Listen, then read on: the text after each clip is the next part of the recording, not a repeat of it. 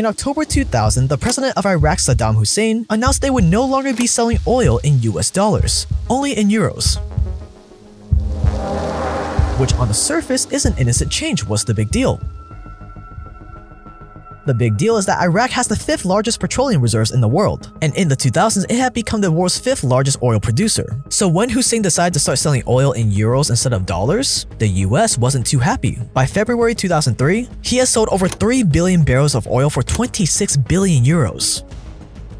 A month later, the US invaded Iraq. My fellow citizens, at this hour, American and coalition forces are in the early stages of military operations to disarm Iraq, to free its people, and to defend the world from grave danger. In an operation ironically called Operation Iraqi Freedom. They overthrew Saddam, and by June, just four months later, the country was back to selling oil in dollars. Years later, a number of US officials started to let the truth seep out. Former head of US operations in Iraq, General John Abizaid, said of course it's about oil, we can't really deny that. Former Fed chairman Alan Greenspan wrote in his memoir that, quote, I'm saddened that it's politically inconvenient to acknowledge what everyone knows. The Iraq war is largely about oil, end quote.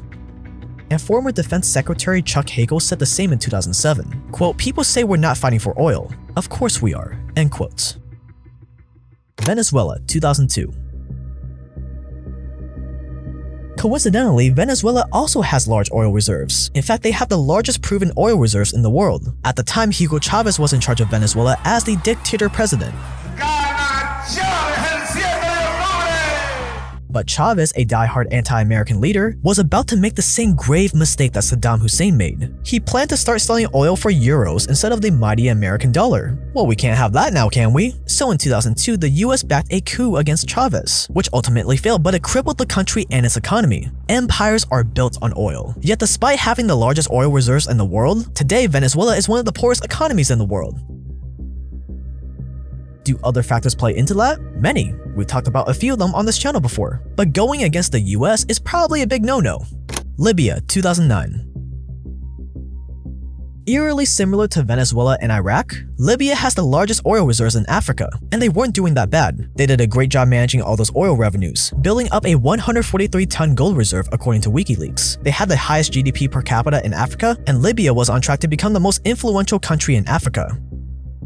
And also similar to Venezuela and Iraq, Muammar Gaddafi, the leader of Libya, suggested all Muslim and African countries buy oil from Libya using a new currency backed by their giant gold reserves instead of US dollars.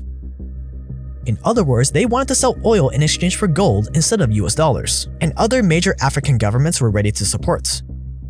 But I think we can all guess what happened next.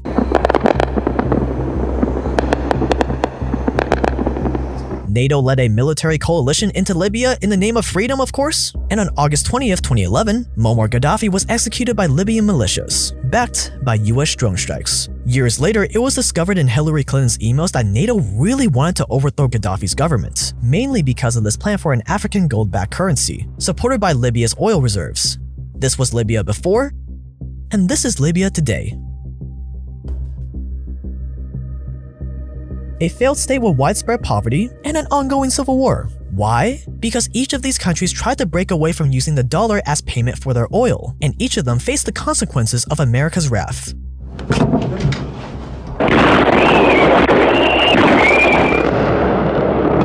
Out of all of them, none were able to recover from America's interventions in the name of freedom and in taking down an axis of evil. And their terrorist allies constitute an axis of evil, servants of evil, the cult of evil, a monumental struggle of good versus evil. And they usually ended up far worse than they were before.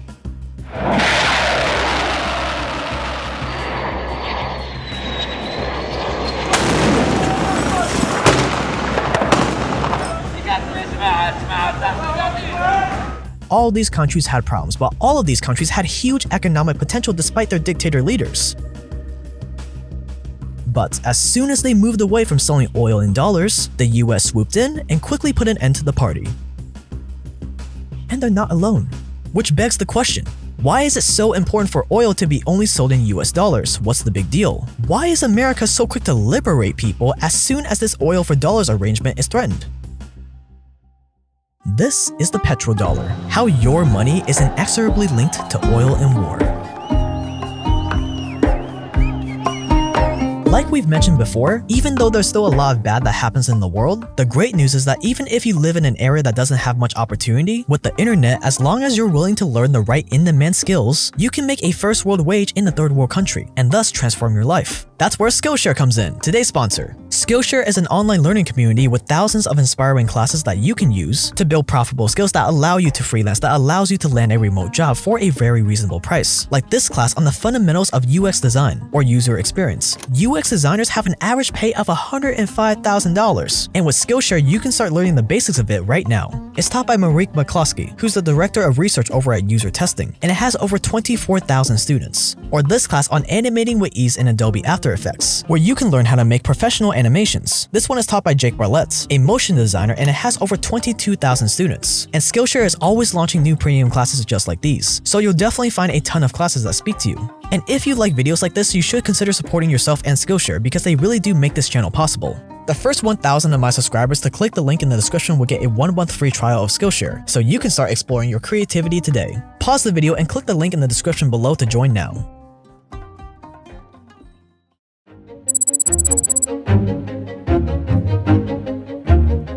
The British pound had dominated the global economy since the early 19th century, but especially after the First World War, it began to lose steam. So by the start of the Second World War, the dollar unquestionably took the throne from the British pound as the most influential currency. By the end of World War II, the Allies, including America and the UK, pretty much knew they were going to win the war. And being that so much of the world had been decimated, it was one of those rare moments in history where it was time to rewrite the rules of the game, to reset the deck and set up a new game for how the world economy would recover from World War II. So in the last few months of World War II, leaders from 44 countries met at a hotel in Bretton Woods, New Hampshire to decide how the new global economy would run and what its financial bedrock would be. At the time, the world was still on the gold standard, where every paper money was backed by actual gold in a vault somewhere. But US and UK policymakers had a much more modern, flexible system in mind. And being that the US had the most wealth wasn't war-torn like Europe, and by far the most gold in the world after many European nations stashed their gold there for safekeeping, it had the most negotiating power at Bretton Woods and was able to seize control. Economist John Maynard Keynes pushed for a global currency called the bancor that many countries would manage, but the US wanted more control. So instead of a new international currency, the Bretton Woods Conference settled on the US dollar as the de facto global currency, where the dollar would be at the center of all trade and international settlement, and it would be pegged to gold at $35 an ounce. This would be the start of the Bretton Woods system that would put the US at the center of the world's economy, trusted by the world to hold enough gold to keep the system afloat. This meant that the paper money printed by one single nation was used everywhere. It became the main currency held in central banks, the main currency used in international transactions, international investments, and all aspects of the global economy. All based on the trust that there would be enough gold to pay up if needed. And over the next few decades, the US kept that promise. The American economy exploded, the US became the largest creditor in the world, and the Bretton Woods system seemed to be working wonders. But the only problem was, this entire system hinged on the fact that the US was on the gold standard, meaning that the nation issuing the currency the entire world used wasn't able to print more money on demand at their whim to fund, let's say, wars or giant social programs. Because if the US were able to print more money whenever they wanted more wars or social programs, they would benefit at the expense of devaluing the money the entire world used. So if they could print all the money they could, the entire world would be at their whim. But luckily, that's not how the system worked. We were on the gold standard. The US couldn't inflate everyone's dollars at their whim. But then it all changed.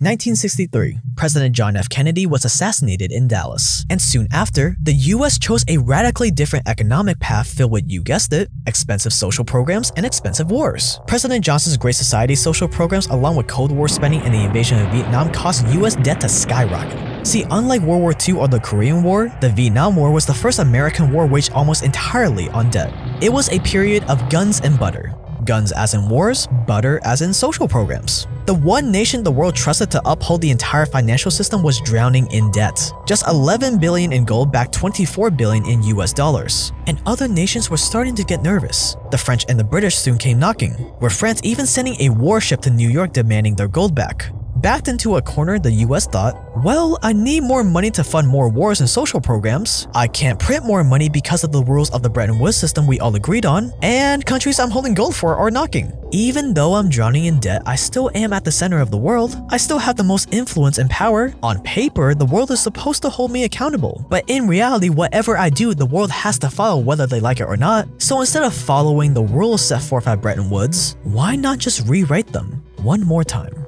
So a few days after France sends the battleship to New York demanding their gold back, Nixon shocked the world with this message. We must protect the position of the American dollar as a pillar of monetary stability around the world. Accordingly, I have directed the Secretary of the Treasury to take the action necessary to defend the dollar against the speculators. I have directed Secretary Connally to suspend temporarily the convertibility of the dollar into gold or other reserve assets I have directed Secretary Connally to suspend temporarily the convertibility of the dollar into gold or other reserve assets, except in amounts and conditions determined to be in the interest of monetary stability and in the best interest of the United States. Actually, the, the French sent like a battleship to New York City uh, in August of 71 to like redeem their gold, and the British asked for like about 3 billion pounds of gold. Nixon, in a famous speech, uh, actually went on TV and he uh, he declared this was a few days after uh, we're ending the gold window. You know, other nations can no longer redeem their dollars for gold, as the U.S. was was was entering into like a very inflationary decade. Basically, in 1971, Nixon changed the very foundation of the entire global financial system in a total of 16 seconds by giving the middle finger to countries wanting their gold back as a temporary measure. But as we should all be well acquainted with by now, few things are as permanent as temporary measures. This would mark the end of the Bretton Woods system. The world went into a financial crisis, the Nixon shock had devastating effects on foreign economies, and America's response to this crisis? Well, in the words of Nixon himself, I don't give a shit about the lira. For the first time in modern history, the world transitioned from the gold standard to a global reserve currency not backed by anything at all, just the blind faith that the US dollar was worth something. Fiat money, and this all happened at the snap of the US's finger. The US came out on top once more, but then just a few years later, another existential crisis hit the US. Oil. So, first of all, you have this change between like colonial powers kind of controlling oil to sovereign dictatorships controlling oil.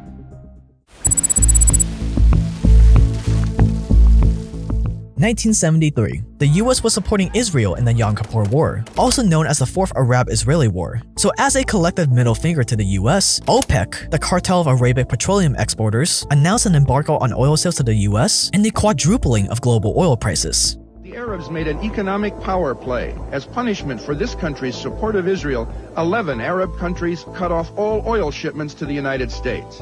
We are heading toward the most acute shortages of energy since World War II. Why was this so devastating? Because even in the 70s, oil dominated every aspect of America's daily lives. It fueled our cars it was needed to produce plastic. It provided electricity for our homes and factories. It was even in the fertilizer needed to grow food. So if you cut off America's oil supply, cargo ships stop, delivery trucks stop, people can't drive to work. You can literally collapse the American empire simply by taking away its oil. And that's what OPEC was threatening. And through this oil crisis, these Arab nations got filthy rich. So you had oil kind of going from like $2 a barrel where it was for like a long time to 10, 11, 12 dollars a barrel.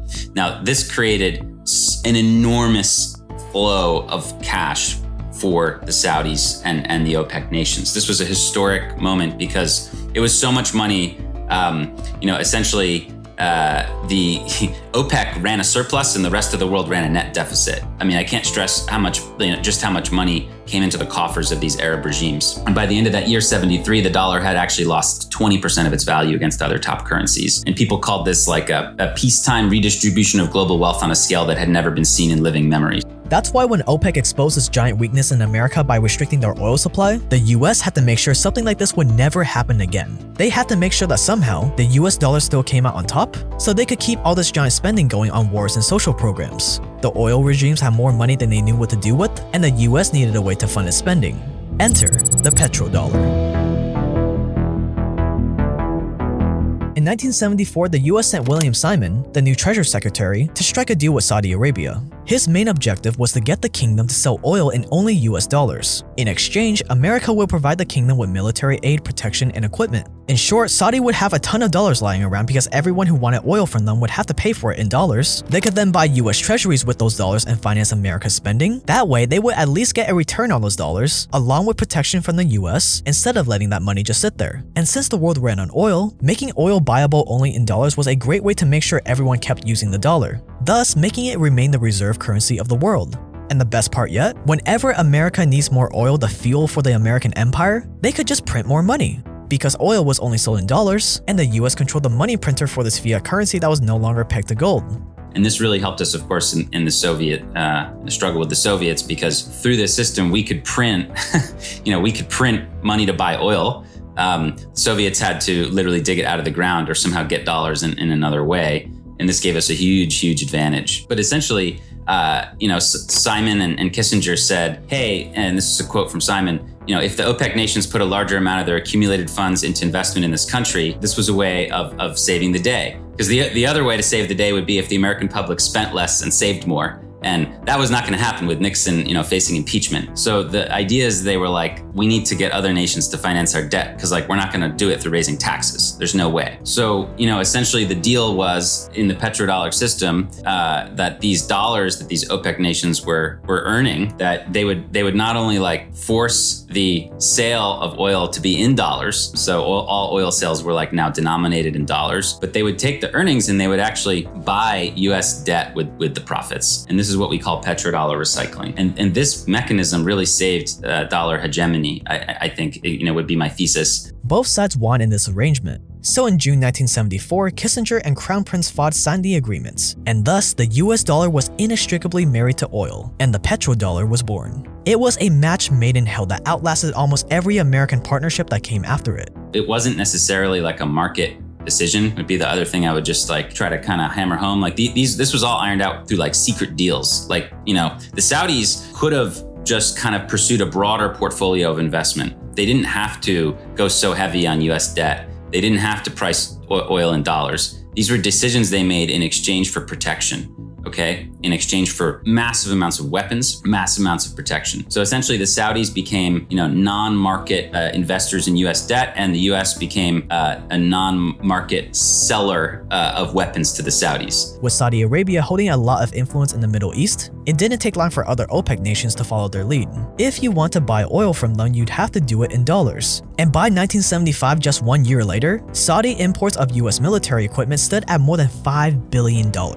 Since everyone had to exchange their currencies for dollars to buy oil, demand for dollars skyrocketed and so did the value of the dollar. And the stronger the dollar compared to other currencies, the cheaper it got to import goods, the cheaper it was to invest abroad, and the cheaper it was to start businesses outside the US, to take over emerging economies and to extend the US's influence even further. Or in other words, the US dollar and the US empire continued to reign supreme and it built an almost unbreakable alliance between the US and Saudi Arabia that still lasts to today. It also meant that every time a nation threatened the rule of the petrodollar, the US would go to the ends of the earth defending it, under the guise of freedom and liberation of course.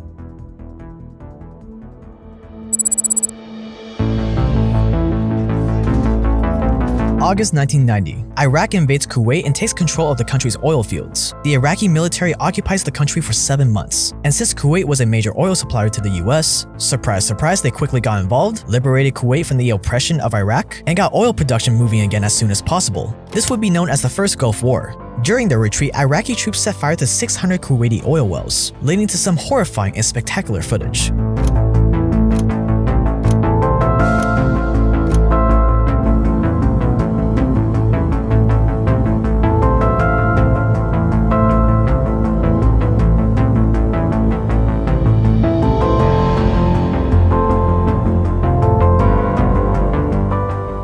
And then you have all the other examples we went over at the beginning of this video, with Saddam Hussein announcing in 2000 that he would no longer sell oil in dollars, only euros, which led to Operation Iraqi Freedom in 2003, with Hugo Chavez announcing the same thing in 2002, they'll only sell oil in euros instead of dollars, which led to a US-backed coup, with Gaddafi of Libya in 2009 trying to sell oil and gold, leading to his US-backed execution, and many other examples we don't have time to cover. In all these cases, the US claimed that they were going after brutal, unethical dictators in order to free the people. Operation Iraqi Freedom. But the US doesn't really care about dictators, only the ones that threaten US supremacy. In fact, working and partnering with dictatorships is a norm in US geopolitical history, as long as it benefits America. And the best example of this is Saudi Arabia. The country is accused of horrific human rights violations, pretty much non-existent women's rights, and the murder of journalists. But you'll never hear a Bush or Obama or Trump or Biden say a single bad thing about Saudi Arabia. Although it seems like the petrodollar is all powerful, that may not be the case forever.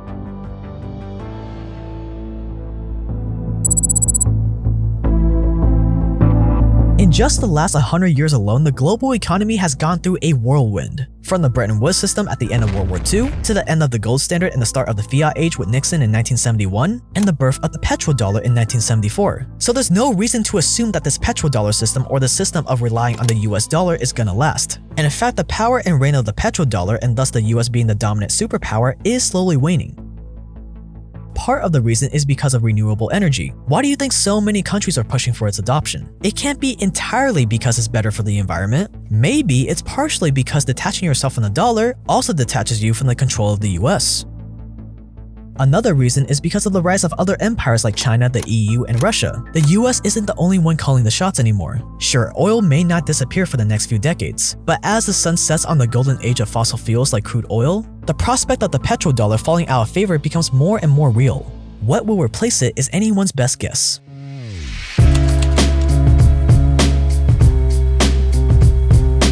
The blaze 60 feet high like a huge inexhaustible jet engine. Some of these men earn $1,000 a day.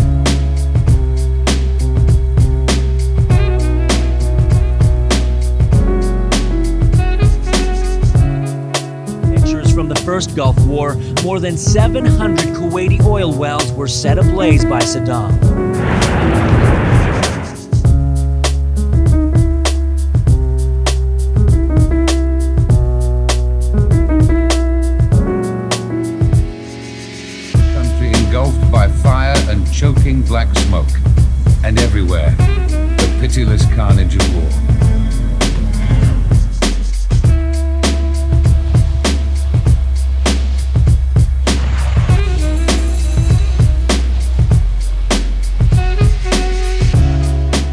Are new here, all I ask is that you subscribe because we make video essays just like this one every single week on the most provocative stuff in the world of business, just like this video. And of course, you can always dislike, unsubscribe, and leave me your best hate comments in the comments below so you have nothing to lose. If you want more behind the scenes stuff, the life kind of stuff, you can follow me on Instagram at jaketran.io. And if you want to support the channel financially, you can check out some great classes on Skillshare with the link below. That's gonna wrap it up for this video. Thank you so much for watching. You've been awesome. I've been Jake. Stay dangerous out there, and I will see you guys in the next one.